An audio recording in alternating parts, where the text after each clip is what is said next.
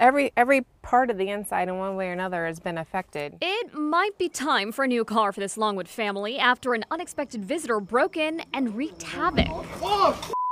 Yep, that's a bear inside Ricky Coburg's father's SUV.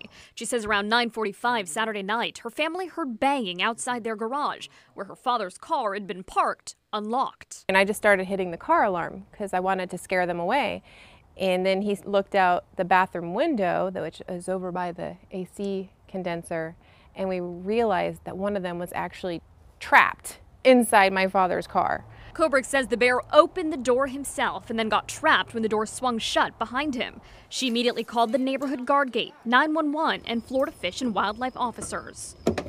Coburg says the bear was inside for 30 to 40 minutes as they waited for him to find a way out. He's not figuring it out yet. Should I call it? I actually started saying, Here, bear, here, bear, throughout the window. Here, bear. Here, bear. A few seconds later, Here it comes. Here it comes. Here it comes.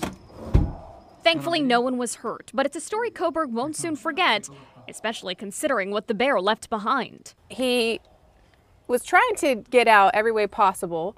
So he was clawing at the seating liner here, ripped this all down, which then he ate the headrest or part of it. Coburg says bears in the neighborhood aren't unusual, but in her car, that's a new one. I guess the moral of the story is when you live amongst bears, you also have to lock your car doors.